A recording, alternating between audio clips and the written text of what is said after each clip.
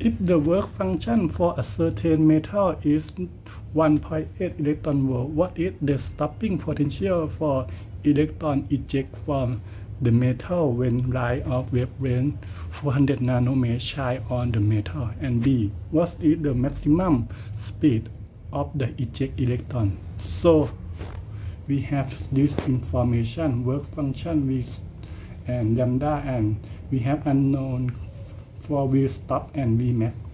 First for A, E equal to K max plus work function and E equal to HF and K max equal to EV stop and E can turn to HC over lambda. So V stop equal to 1.2 volt and for Vmax K is uh, kinetic energy so equal to 1 over 2 mv square. So E equal to 1 over 2 mv square plus work function.